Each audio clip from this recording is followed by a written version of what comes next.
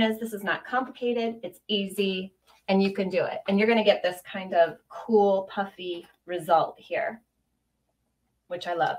This, we're using my pattern, the zipper wristlet pattern that you can access for free if you're signed up to my emails. If you're not signed up yet, go to sewhungryhippie.com and you can go to the FAQs page or on the main page, I have a sign up here for emails. I send them out every Sunday.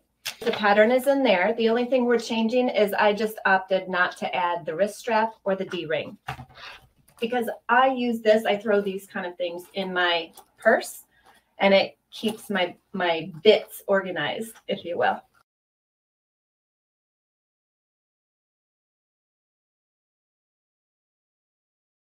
Okay, so first of all, here's my deep space. Now I chose a scrap piece. There's probably imperfections on here because that's what I have to use. So in, in the shop at sewhungryhippie.com, I do have some ready to go kits and I've cut this for you already. You need two pieces of the deep space soft vinyl and you need two pieces of foam interfacing. And I just lay it down like this. I like my foam to be bigger than my fabric, okay, or the vinyl, whatever you want to call it. This is this vinyl is like fabric. So if I say fabric, you know what I mean. Then you're going to take your acrylic ruler and a Hera marker. You can also use a paintbrush or a turning tool or a pen without the ink part jabbed out, anything that can make a mark. And you are simply going to put your ruler down and glide this along the vinyl. See that? It just makes a perfect mark. And then you're going to measure another inch over and you're going to glide it again. Now, if you're paranoid about the marks going away, don't be because I did this all the way across and then took it at one time to my machine and they were there perfectly. But you can also just mark half and and then sew half. It doesn't matter. Do your thing. So here we are. Here's the vinyl I just marked. Now I am using Gutermann all-purpose thread in white. You guys, you know I use this 99% of the time. I, I just, I am not fancy. I tend to stick to a product that I know works. You want an all-purpose thread, polyester blend when you're sewing vinyl. It's just stronger. Now I, I will start in the middle. I'm not even touching it. See that?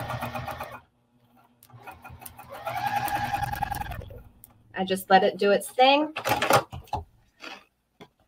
I do like to go in one direction. So what I mean is uh, I just keep sewing in the same direction here. Let me bring that.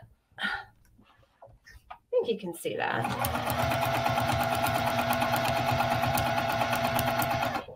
As you can see, it's no problem at all. And the more lines you sew, the puffier, that puffy effect becomes more pronounced. I'm using soft and stable, non-fusible.